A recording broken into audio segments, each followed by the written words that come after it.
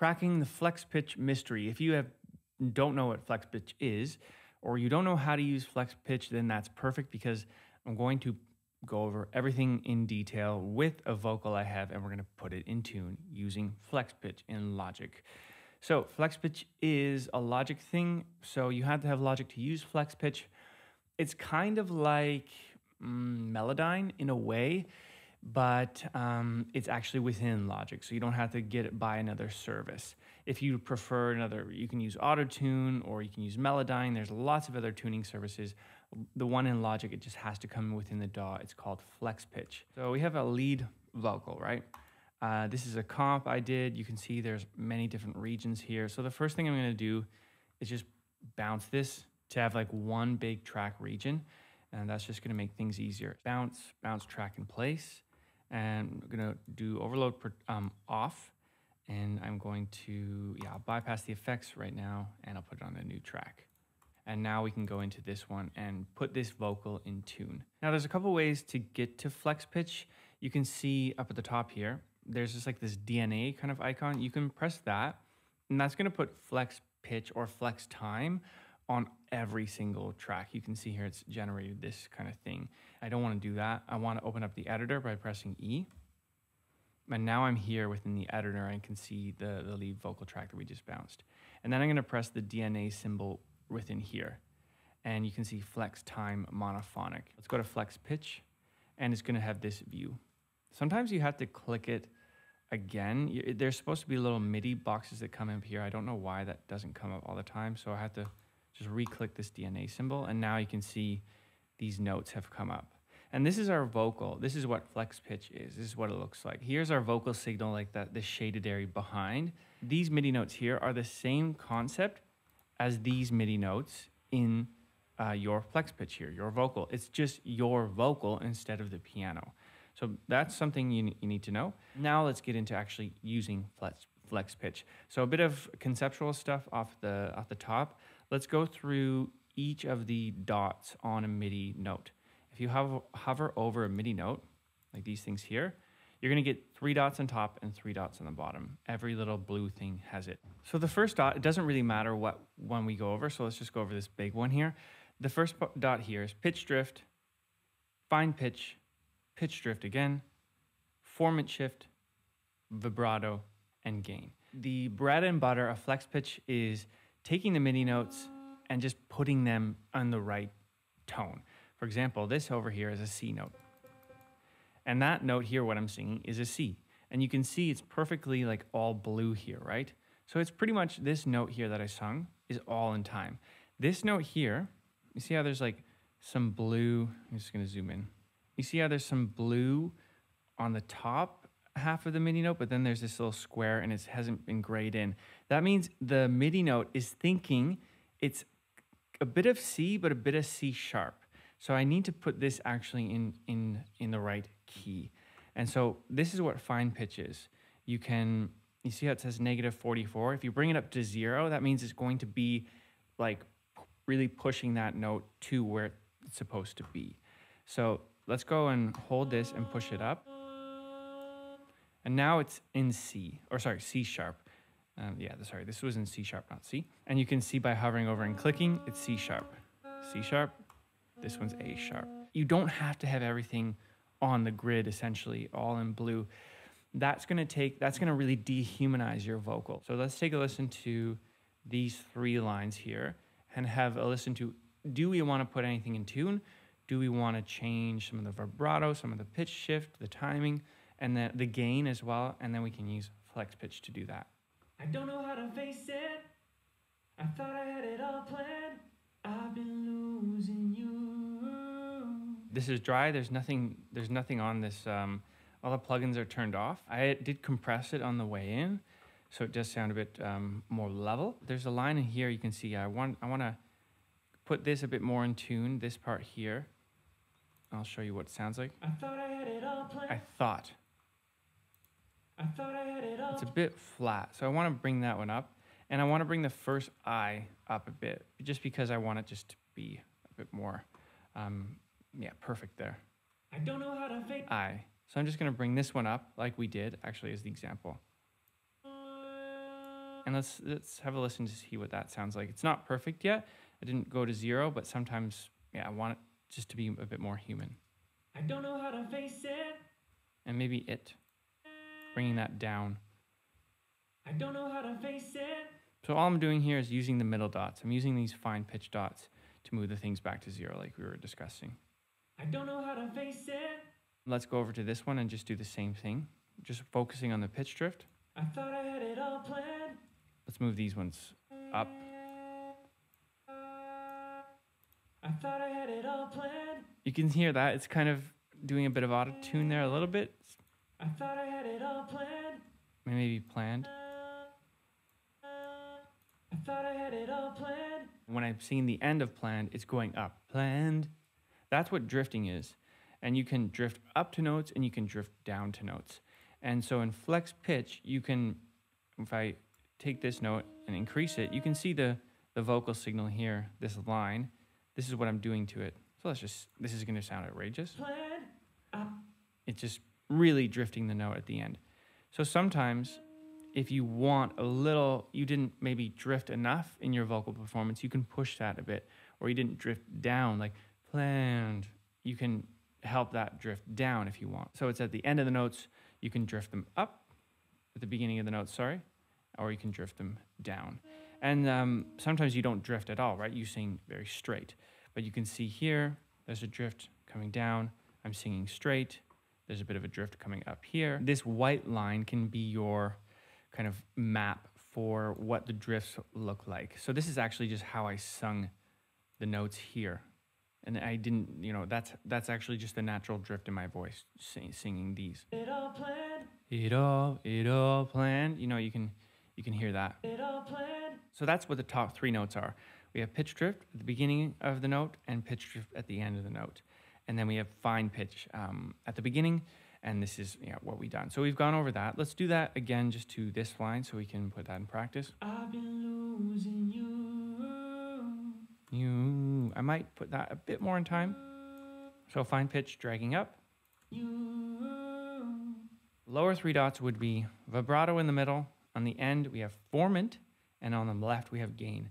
I'm not really ever changing the formant. So let's start with formant from bottom uh, right. Formant is actually changing what I like, just the texture of the voice. Let's focus on this little note. If I increase the formant, I've been losing didn't change the note. It's going to actually sing the texture of that note, but keep it in the same note. If you, if you, that doesn't really make sense. But have a listen, and you'll see what I mean. I've been losing you. I've been losing you. So it can be a nice feature here or there if you want to change the texture of your of your voice. For in my case, in the music I like to make, I'm rarely ever shifting the formant. And if I wanted to shift the formant, I would ra- rarely ever do it on one note, but I might do it on the entire track, and then, I would use a different plugin. And you can also shift down too. I've been losing you. So it can be a cool effect, right? I've been losing you. Like that sounds cool because it's in key, it's just changing the texture a bit. Now let's go over the vibrato. And this is how squiggly the line is. This is my natural vibrato of the line, your voice shaking a little bit, and you can actually purposely do vibrato as an effect to sound cool on your voice. Let's just look at this note again. I've been losing. If I increase the vibrato, you can you can see it's making it more squiggly, right? Let's go crazy. I've been losing you. That's that's what vibrato is. Du-du-du-du-du. I've been losing. If I want maybe a little bit more, I've been losing you. you know, maybe I like that. I've been losing you. Or maybe I'm like, ooh, I sung too much vibrato. Can we fix it a bit? Can we bring it down? Can we make it really flat? I've been losing you. Then that's what that would sound like. I personally like vibrato sometimes because I think it sounds cool, but sometimes in certain areas you don't want a vibrato because maybe it's taking away from something else. So you can come in here and bring it down. Here, I can do that. See what that sounds like. But I, I like a bit of vibrato there. That's personally my, my taste is uh, I'm a pro vibrato person. The bottom left is gain, and this is just as any gain plugin. It's also the same in the region here, um, this gain here. But in flex pitch, you can gain the actual the audio signal of that note only. So, for example, this note, if I press it and push it up, you can see it's only pushing this part of the vocal signal. So, only the word losing, or at least the first lose, that first part of the word, I've been losing you. or I've been losing. If you want that a bit more present, you can increase the gain. Obviously, I don't think you would do something like this, but you might. Maybe you want the I. I've been losing. Maybe you maybe you sung something or the S at an end, uh, the end of a word or an ED that you didn't pronounce. You would go in here and increase the gain, or maybe you sung it too loud. You'd go in and, and decrease the gain on a word, and that's actually a really handy tool if you're doing if you want to do um, gain staging on your vocal after you sing it, you want to kind of make sure everything is sounding like it was one take. You can do that in FlexPitch. It's really it's a, a valuable tool. Those are the dots you need to know. Let's put some things into practice, but that's what it is. If you want to stop watching the video here, you can go and do it on your own. There are some things I didn't discuss, like you know, there's a bit of sh- there's shortcuts here and there. You can cut things like I did before. You can click and you know drag notes up completely like this. Uh, there's is an option just to select everything like Command A, and I believe just to put everything in time. Yeah, set to. I just did uh, Command A and then I did right click, set to original pitch, set to perfect pitch. So if I do that, all the notes are now perfectly blue. It's going to be kind of like auto tune. The more you change stuff, the the you have the more I guess you can say you have more of a potential to make it sound bad or less human. Everyone uses Melodyne, Flex Pitch, Auto Tune, so you do it is helpful to go in there and do some tuning to make things really perfect. But I gotta come to grips with. Like that doesn't sound good to me. I set that to perfect pitch. But I gotta come to grips with. It just it sounds too fake to me, so I'm gonna undo that. But I gotta come to grips with. Grips maybe a bit up To grips with. I gotta come to grips with. with Gotta come to grips with. with Grips with. with. Grips with. It's cool. Take matter in my own hand. Ooh, see that's out of tune. Take matter in my own hand. Matter. Take matter in my own. Take matter in my own hand. Hands. Take matter in my own. and you can cut it and then have the flexibility to change the formant and the fine pitch for that same note but in two different places so that's you can cut one note and then you can see it's it's just by cutting this note it brought it down here Take matter in my own hand. Take da da da da da da da da. You know, I was saying take matter in my own hands. Keep in mind, I'm also going to be using auto tune on this. So I just go in here or there, fixing little things, focusing on the gain maybe and the fine pitch here and there. Then I actually add an auto tune to smooth everything out, and that's where I actually think things come to life. I very rarely am really hard tuning things because I just think like the Antares Auto Tune or maybe another Auto Tune plugin really does a better job at actually smoothing this out. Flex Pitch is great for this kind of thing, but why not leave it up to another company like Antares or there's another Waves Auto Tune. And sometimes they're better than Flex Pitch in my opinion, just because Logic like is a pro DAW, but it's not like a pro auto tune plugin, if you know what I mean. These other auto, pro auto tune plugins only focus on auto tune and making perfect auto tune. Flex Pitch is just kind of like an added bonus to Logic that is great for just shifting things here or there to clean things up. But I gotta come to grips with. Take matter in my own hands. It's not so bad. Damn, it hurts when. Damn, right? Damn, it hurts. That word damn. Damn, it hurts when it's true. Actually, my ear, sometimes your ears plays, plays tricks on you In too. my own hands. Damn, it hurts when It could be tuned a bit more. Damn. it's true. Damn, it hurts. Just down a bit. Damn, it hurts when it's true. I want da da. I want, want that to be a bit more straight. Da da da da da da da. Damn, it hurts when. Damn, it hurts when it's true. Damn, it hurts when it's true. But it's no excuse that I run for the hills. See, lots of vibrato on this one. Hills. Change, take that down a bit if I wanted to. There's a lot of things on the left here I didn't even talk about. You can use quantization just like we did with MIDI. I can Command A and um, gain everything up. That's crazy. Let's go back down.